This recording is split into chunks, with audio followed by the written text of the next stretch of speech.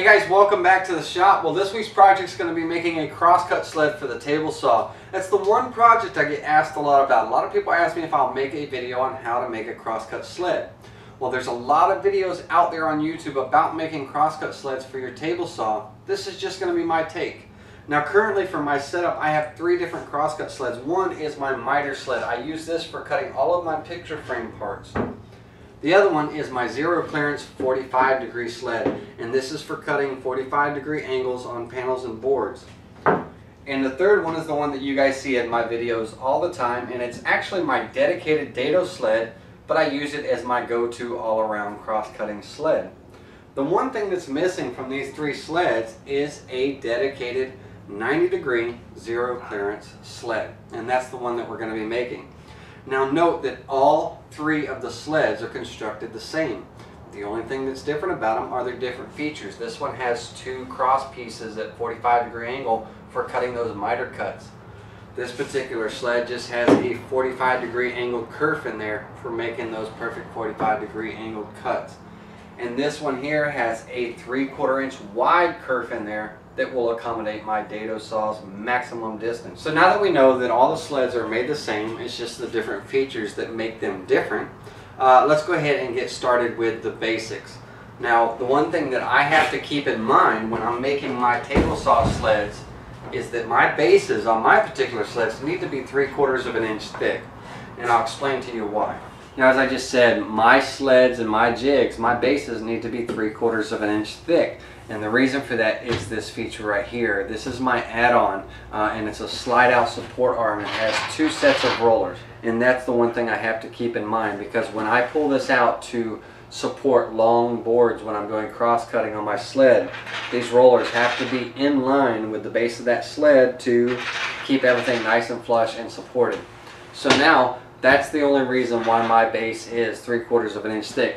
But you can use any thickness base that you want I would recommend no less than a half inch thick, but that's up to you. Okay, when it comes to making the jig, uh, the material used is up to you. Um, normally I use 3 quarter inch plywood to make my bases and my, my sleds out of, but I don't have any on hand, but I do have this piece of 3 quarter inch MDF, which is perfect. It's the perfect size, nice and flat. All I have to do is make sure everything's squared up and everything uh, before I get started with it. Now when it comes to the runners, uh, you got a lot of choices out there. You can buy factory runners uh, that fit in your miter slots. You can use, I've heard of people using that um, cutting board plastic. You can use hardwood. Uh, you can use plywood or whatever you want that will fit into your miter slots with a nice perfect fit. Now, a lot of times uh, you'll hear some people say don't use softwood. That's mostly true. Uh, you really don't because it doesn't take that much of a beating. However, because I have uh, so many different sleds with the runners being just this simple select pine, which is like a fir, uh, I've never had any problem and I don't have any play in it because this three quarter inch fir is a perfect fit for my miter slot. There's absolutely no play in it whatsoever. I don't have to do anything. All I have to do is cut down the thin strips. And for me it lasts a long time. I've never had anything loosen up on me. So that's what I'm going to use. I'm going to use just what I have on hand and scrap. So now all I need to do is go ahead and cut a couple of thin strips off of this uh, piece of pine that I have here for my runners and get ready to glue them on the base. And basically we're going to build this base. Well from the base up. Alright so now to go ahead and cut a couple of uh, runners out of this board I'm going to use a thin strip rip jig that I saw from Charles Neil and thank you for this Charles because it works like a champ. And uh, I'm going to get a little closer and show you what this is guys. Uh, and it's really simple to make and it works great. So let's take a look so for my version of the thin strip rip jig uh, is simply just a piece of MDF with a slot cut in it and I made the slot on the drill press by drilling a series of holes and then cleaning it up with a um, chisel just so my bolt can slide nicely back and forth in here. Speaking of bolt, what I have is a furniture bolt. Uh, has one of those big fat heads on it. And then I have a washer here where the sides are cut off. Now my slots, my miter slots on my saw are almost like a T-track. They got a little groove down in the bottom there that acts like a T-track. So with this washer and a bolt, I can slip it into this miter slot here and it's locked in. It's not going anywhere. So now I can go ahead and take my long strip of MDF, another washer, and I've got just a quarter inch wing nut here, kind of lock things down. What I'm going to do now, bring my blade up and I'm going to bring this over. I've got a little bit of it hanging off the blade and part of it on the blade, but I'm going to bring it over to the blade and basically zero it out. Temporarily lock it down for a second. That way I can bring my fence and my material over to it. Get everything nice and touching. Lock my fence down. So now with my fence locked down, everything is zeroed out as far as my fence and my board. It's zeroed out with the left side of the blade. Now I can take my jig, slide it back in front of the blade. You don't want it beside the blade. You want it in front of it or else you'll have binding and problems. So now I'm clear of the blade. I'm in front of it. I can go ahead and put my stock back here. Still zeroed out because I haven't moved my fence. I can bring my jig over to my stock and I want my strips to be a little less than 3 eighths of an inch because my miter slots are 3 eighths of an inch deep and I can go ahead and lock that into place. So now I just bring my stock over, lock down my fence and I can go ahead and make my rip cut.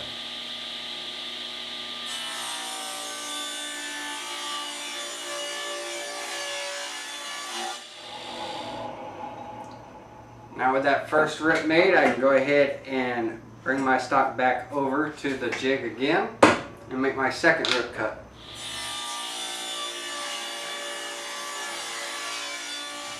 So now what I'm end up with is two perfectly flush strips.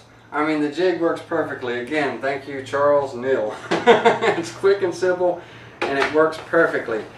And man, that is just I can't ask for a better fit than that. The only thing I need to do now is get them in both slots. And I, of course, I have them extra long here because I flush cut them down to the jig, uh, to the sled when everything is all said and done. Alright, the next step is to make sure that your fence is running parallel to one of your miter slots. Uh, you can do that by taking your fence and sliding it over to the edge of your miter slot, lock it down, make sure everything is nice and flush in there and that it's running perfectly parallel with it. Alright, so with that in, alright, so now that we know that the fence is parallel to the miter slot, the next thing I'm going to do is go ahead and get ready to glue the runners onto the base. And since my runners are thinner than my miter slot and they sit below it, which is what I want, I'm going to take a couple of quarter inch nuts place them inside the miter slot to raise those runners up.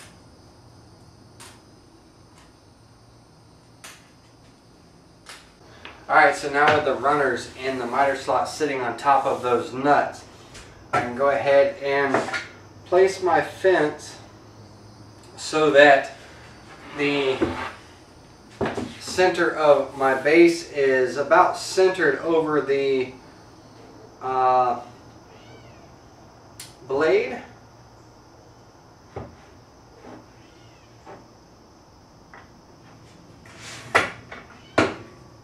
Alright.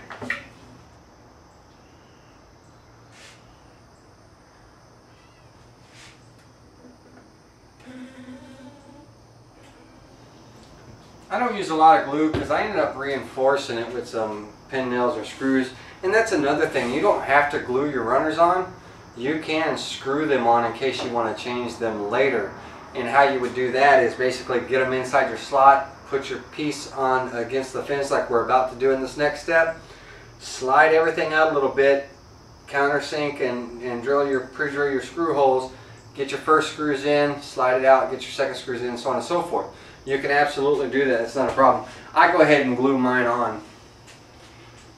And what I'm going to do is I'm going to take and butt my side up against the fence, get it where I want it, keeping firm pressure up against the fence as I come down. Make sure everything stays nice and parallel.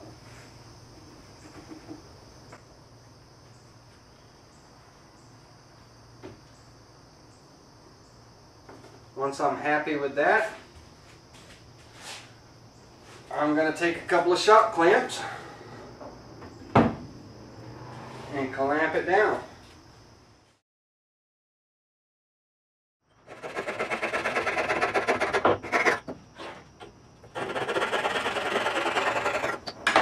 Okay guys, with the runners glued into place, uh, what you didn't see was just a few minutes ago, I just took my pin nailer and put four pin nails in each side just to kind of additional security. Um, now what I'm going to do, one of the things I like to do is I'm going to take some paste wax and just wax my runner boards. I'll let that sit up and then I'll buff it off. Um, one of the things that I want to talk to you about is some of the features of my other sleds that I really like that I want to incorporate into this new sled. On the main sled that you always see me using, a couple of things that I have here are handles and it's just a dowel um, with the back braces that keep everything kind of at 90 degrees and square, keep my fence square. I've got a dowel running in between them and it's just a great place for to keep uh, uh, my hands and everything so I always know that they're not near the blade. Another thing that I do is on the back side here, which we're going to do on the new one, is on the two blocks that hold the dowels on the inside here, I've got them covered with a quarter inch piece of plywood and that covering is like a blade guard on the back side so I always know that you know I won't go too far and I won't my hands won't ever be in the way. They're always someplace for them to be. So I want to incorporate these handles on the new sled as well.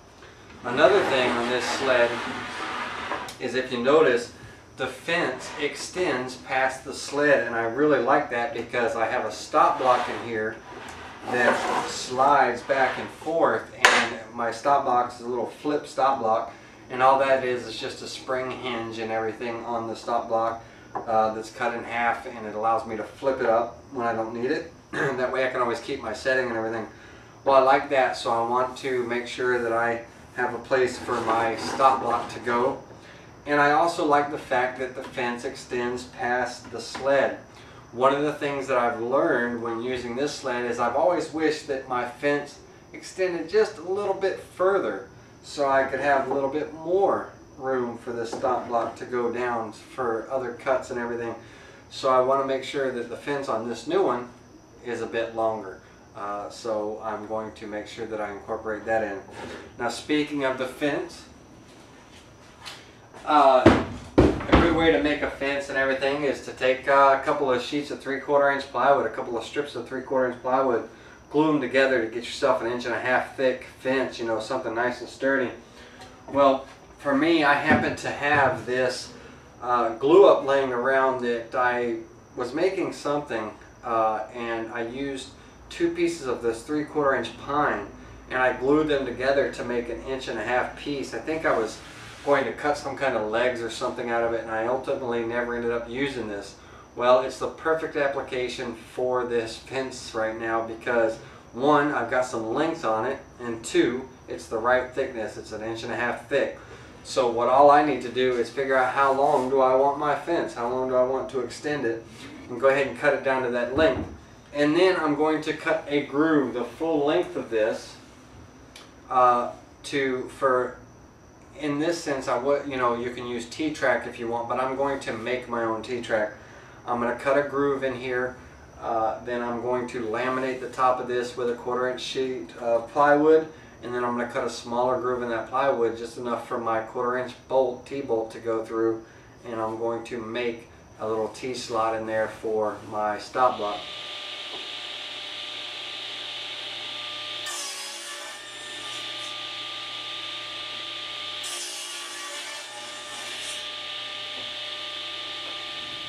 Alright, now that I got the fence cut down to the length that I want, I'm going to go ahead and take and run it through and cut a half inch groove in it, uh, probably about a quarter inch deep. And it's going to be one inch down from the top of the fence. And what this is going to be for is for my T-bolt to slide into for my stop block.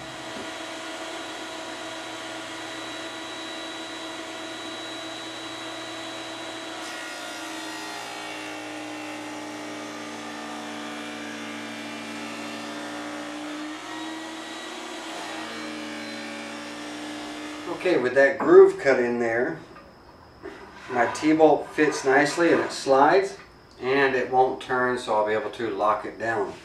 So that's good for that.